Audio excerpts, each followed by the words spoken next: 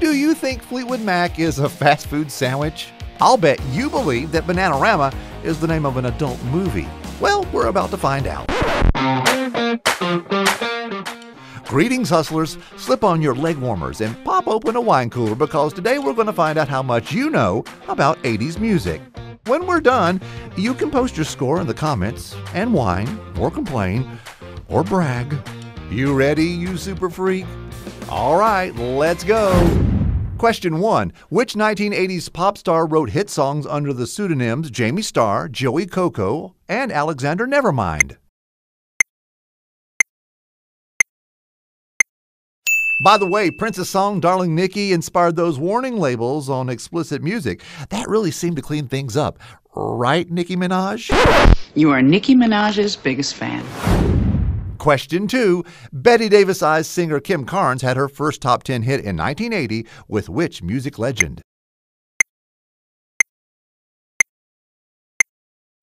Kenny Rogers' more famous duet partner was Dolly Parton. The pair claimed they never hooked up. She said it would have been, quote, like incest.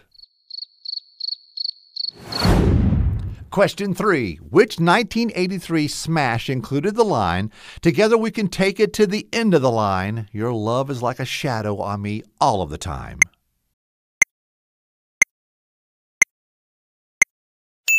The original title of Total Eclipse of the Heart was Vampires in Love.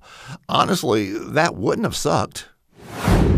Question 4. Weird Al Yankovic's 1983 hit Another One Rides the Bus was a parody of which group's song?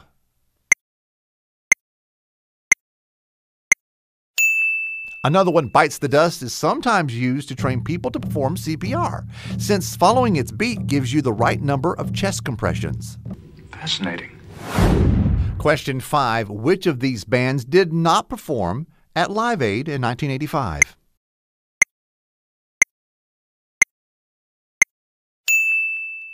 Live Aid inspired a bunch of other charity concerts, including Farm Aid, Band Aid, Self Aid, Sport Aid, and you're going to think I'm making this up.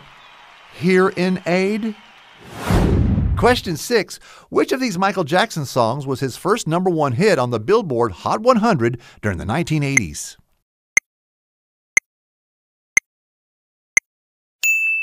Believe it or not, Rock With You was first offered to Karen Carpenter. Yeah, that would have been.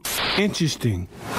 Question seven Who was not one of the five original VJs when MTV debuted in 1981?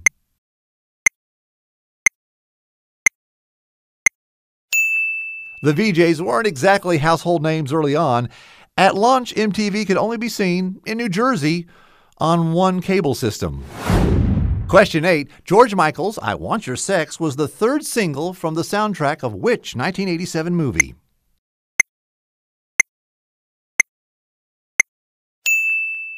Another song on the Beverly Hills Cop 2 soundtrack was nominated for an Oscar. I Want Your Sex won a Razzie Award for Worst Song. Question 9 Which of these 80s music legends was the only one to sing on We Are the World?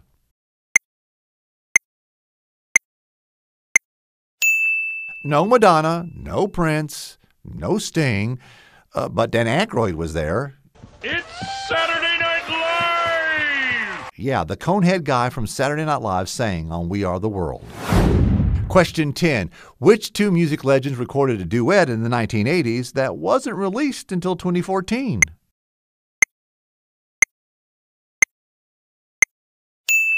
Reportedly, Michael Jackson would bring his pet llama to the recording studio, and Freddie Mercury wasn't a fan. Imagine that. We're halfway there. How you doing so far? Oh, sorry to hear that. Do better in the second half, and I'll take you to Blockbuster. In the meantime, check out our Trivia Hustlers merch. We've got coffee mugs, t shirts, and hoodies. You can find the link in the comments. Question 11 In 1983, which band had five top 20 hit singles from three separate albums?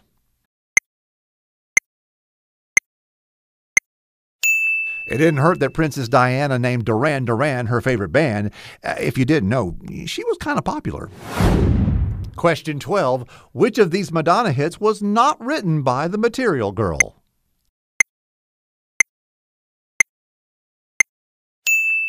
Like a Virgin has been heard in countless movies and TV shows. On Grey's Anatomy, Sandra Oh's character hummed the song while cutting open cadavers. Like. Question 13 Which 80s pop star won a Tony Award in 2013 for composing the Broadway musical Kinky Boots?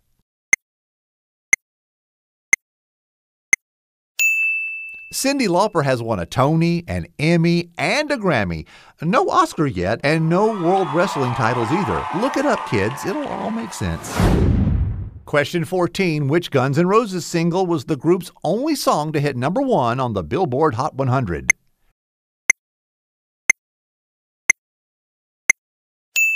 Fans obviously love Sweet Child O' Mine. Guitarist Slash, not so much. He said the song, quote, makes me sick.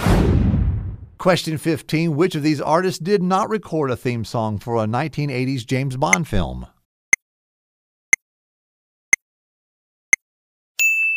The Eurythmics may not have recorded a Bond theme, but I think Annie Lennox would have made a great Bond villain. Question 16 Which Motown singer wrote the 1980 hit Lady for Kenny Rogers?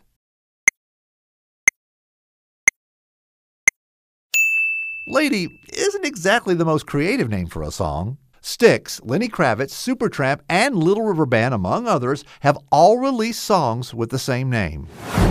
Question 17 Which of these 80s hits was not written by Prince?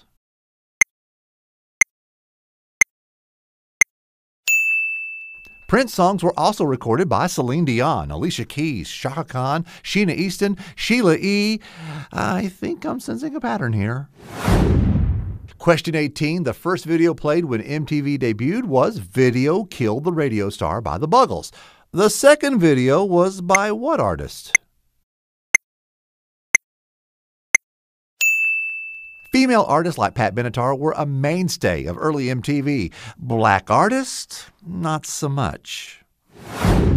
Question 19 Kenny Loggins is considered the king of 80s movie soundtracks. Which song earned him an Academy Award nomination?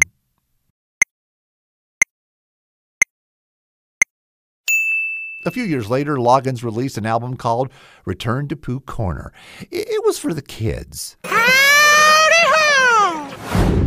Question 20 Which 1983 single became the only police song to hit number one on the Billboard Hot 100?